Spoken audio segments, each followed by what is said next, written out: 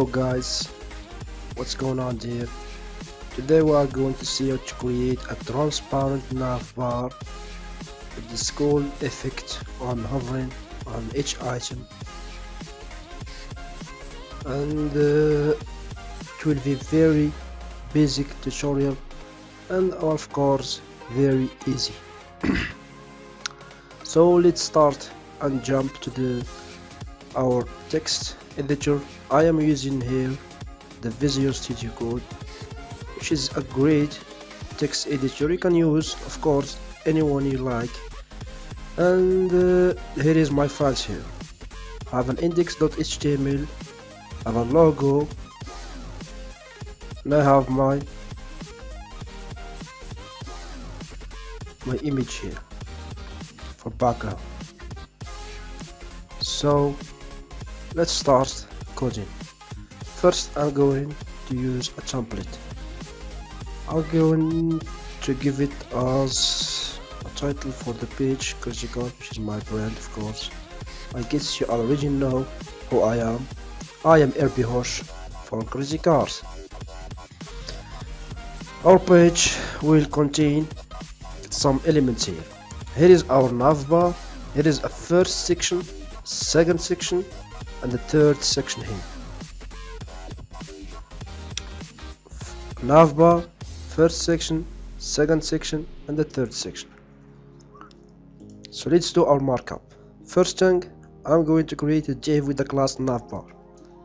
Navbar which will contain a brand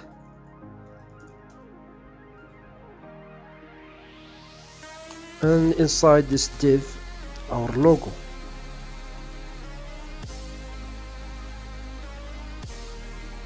logo.jpg criticals here self close tag. After our navigation bar uh, we will have uh, a section here. A section of class sec a the first section. I am going to use or to give inside this section and headline of h1 welcome to inside the span card so that I can style this brand alone. The second section I'm, I'm, I'm uh, going to give it a class of A. Of uh, B sorry guys and inside this class some text some text who is RB Hosh I am asking a question here. And of course some lorem ipsum.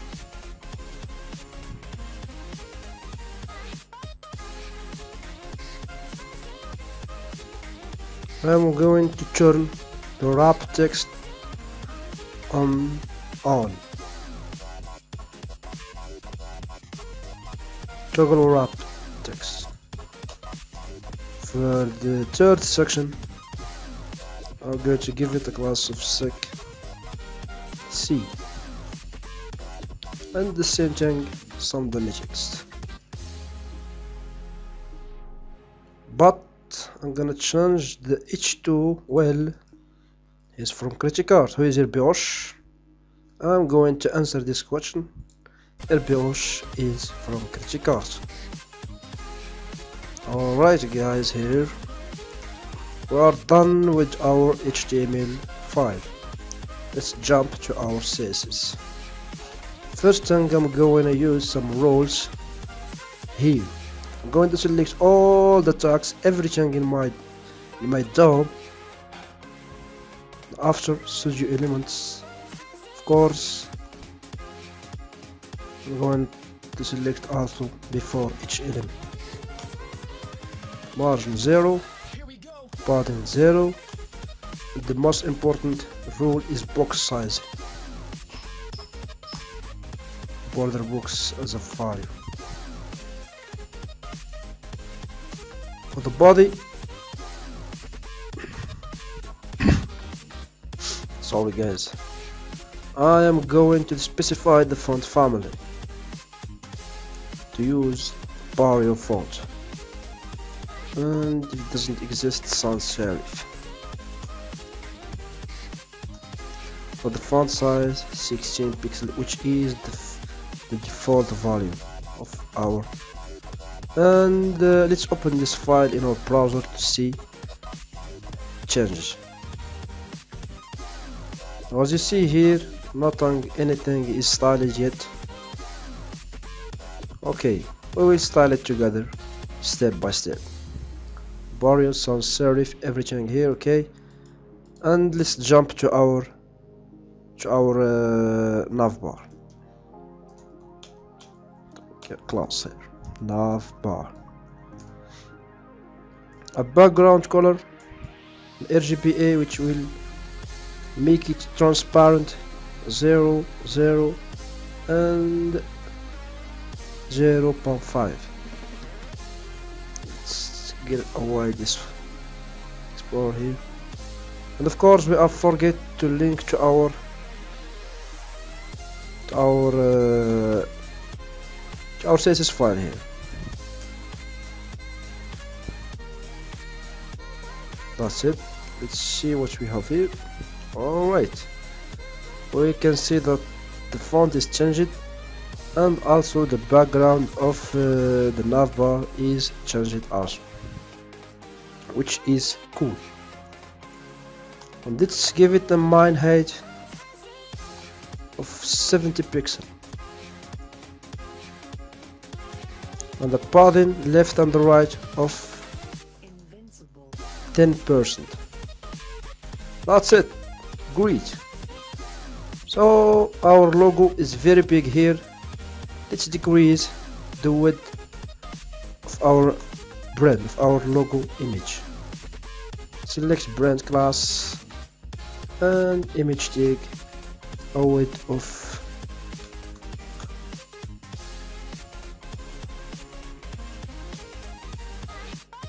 alright cool. I have already tested this value so that I give it directly this value here. Of course for yours for your logo you can adjust your width as it should will be. Don't just copy this value but adjust in your situation. Uh, what else? So okay let's give it also some margin top or some padding top. Of uh, 70.5 pixel. That's it which is now centered vertically. Great. Our logo is now okay.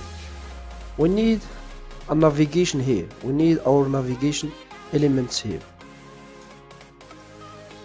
our actual actual our uh, actually our navbar yes our navbar UL uh, LI inside LI we have an href of home here let's duplicate this line. Another page. Contact for example. Another one. Pricing of course for example. And another one of about that's it just for elements. So as you see here there are in their in their initial state so we, we are not styling yet this elements here. Let's style our our nav here. So that we can make the logo in the left side and the navigation in the right side. We are going to use the float property here. Float left. And for the nav elements we are floating we are going to float them to the right. Nice. It's okay. Great. So to escape any problem of this floating? I am going to use strike here or after content empty and for display block and for clear both. Nice. And let's style our UL elements here. LI for UL I'm going to use some properties. Nav UL for the margin 0 and padding of 0 and let's style our li elements I'm going to use the display display inline block property to make it to make them in one line. Display inline block. That's it. Great. Let's get away of that the list style none and margin left of let's do um, pound, 1 pound 5 m. Just test your values there. Why not 2 m? Okay I'm going to adjust and test the values until we are uh, satisfied with the result in the end. And what I what else um, I need to style the A elements.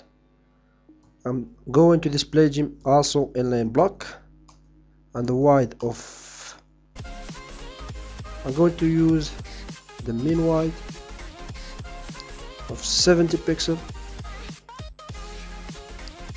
and the line height of 70 pixel because I have the height of the nav bar of 70 pixel. So that I can center them vertically great. So as you can see here they are centered vertically and also there is some margin between each element here. Let's get away of that underline text decoration of none. And the color of blue of uh, white the font size of 1m let's test 1m okay. 1.1 why not? Okay they are actually good. I like them like that. Let's just give them some background just to, so that I can see them. Okay I need some to be the center gem this element not top size text align center that's it. Great. Actually it looks good. So let's get away of this background here. What I need is now this animation here so to use or to create this animation I need the pseudo classes on that element on A elements. So before and uh, this or content so that I can style this pseudo element display as a block or just not a block but I need a position of absolute. So I'm going to give it a position of relative so that I can control the top and left here. Top 0 from top and left. 0 from the left and the background of white. I cannot see it not yet. I'm going to give it a weight of 100 and the height of 100 alright now I can see it I want this element to be shown or to appear just in when I hover on each element. So I am going to use the transform property and scale of y 0 to disappear to hide this element and of course very important transform origin of top here we are going to see why using top here or this property transform origin. So when I hover on this element I want the animation to be appeared hover. I want this one here not to be hide but to be appeared until their original white and height alright it doesn't show because I am going I'm not referencing to the element to be shown on the hover. Great. Now that I can see it appears I need to make some transition. Transition which property I want to make a transition on? On this one. I need this one here. Transform here. Ease in out. Let's make it 300 millisecond. Alright great. So I'm going to use here bottom to appear from top and disappear from to bottom in, in bottom in bottom or it's the contrary I want the, the contrary the reverse of this. Bottom to appear from the top here and disappear in the bottom. Great that's what I want.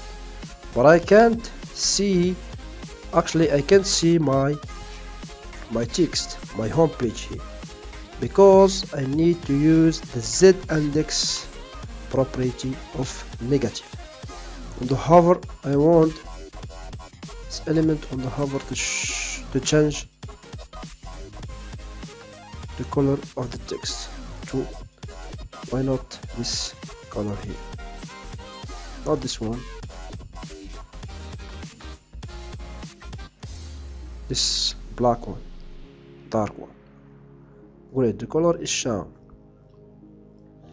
and also I want some transition. I will fix the problem of okay they give me these prefixes here.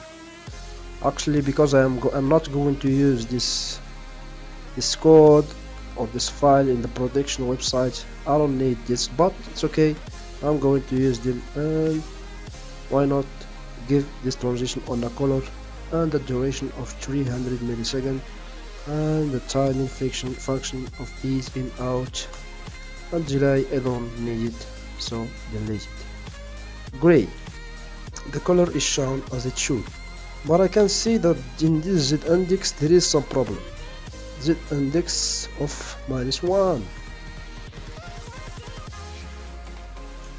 Z index minus 1 Z index of 100 alright great that's it. Animation is working fine. So our nav bar is complete here. Our animation is in the final stage. It looks good it looks nice. Now let's stylize the rest of our page let's do that very very quickly. Let's grab or select our sections and give them a height of 100 VH which is the height of my of my not the class of section but the tag of section. At the height of uh, my screen. Alright each section is now in 100 VH as a height.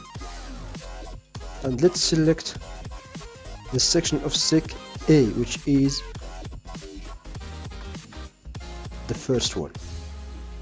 Let's give it a background image of my pg here dot png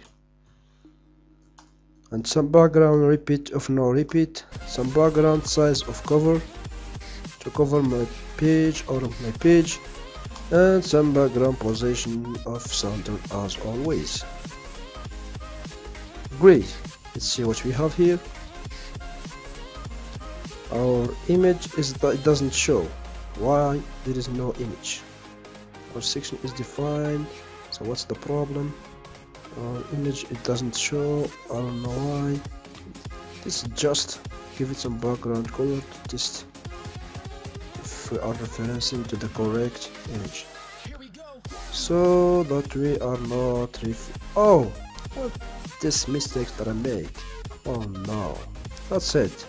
I want this class in this section not inside this section an element with the class of this class okay as you see our image is now shown but our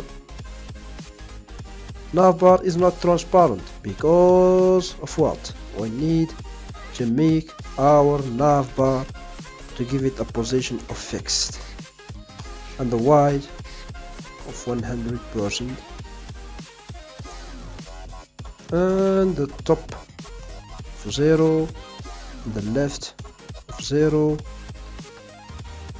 and the right also of 0 that's it. Great. Now our navbar is fixed on the top and we have this transparent elements here as you can see here there is my headline here. I wanted to make it here. To be on the center of my section on the middle of my page on the middle of my screen. So let's make this right now. Select our so we have here our h1 here. Select this h1. Text align of center. Yes but, but to do this quickly I'm going to use the display as a flex as a justify content center and align items of center alright my title now is perfectly centered on the middle of my page. Let's style it a little bit. To give it a color of white and what is a font size? Let's increase my font size here. It's what about 2.5 m. Actually just 2 m. And the letter spacing of what about 2 pixels?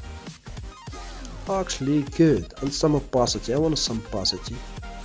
Of 8 here just like that it looks great. But I want to style this criticart here alone. So I'm going to select it because I make it inside the span. So I select just a span element here. And add some and increase this font size by 2.5 m and an opacity of 1 right opacity doesn't work because I decrease the opacity in each case in, uh, in any case here. As you see here I see that it's, huge. Let's decrease it and give this one one pound five. Great that looks good.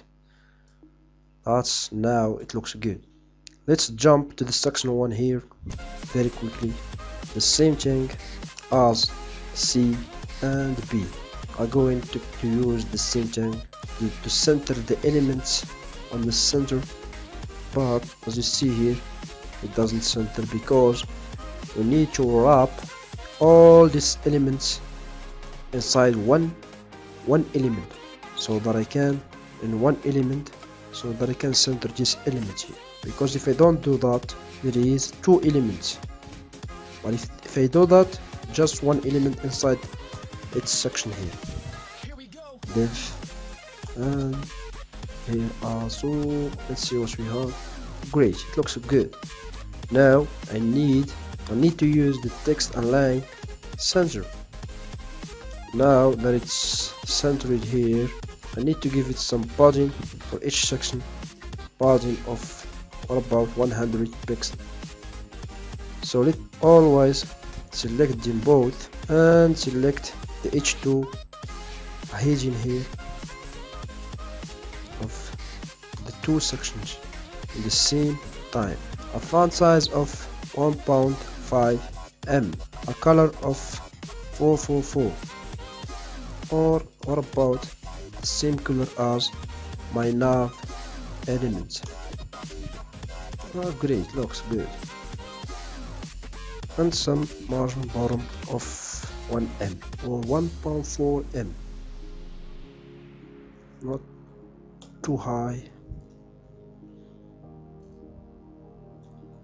Point 8m here. Great looks good. I select our paragraphs and also style gene alone.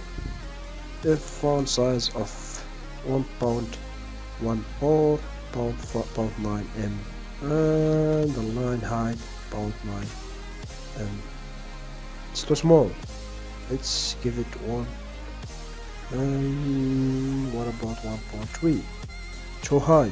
What about 1.1 okay great. Looks good so the same color but I need to change the opacity of bound line so that it's a little bit green the last thing I'm going to do is to give this section a background. So let's select this selection this section alone and give it a background color of background color of 2 8 F2 so a color that I was tested earlier.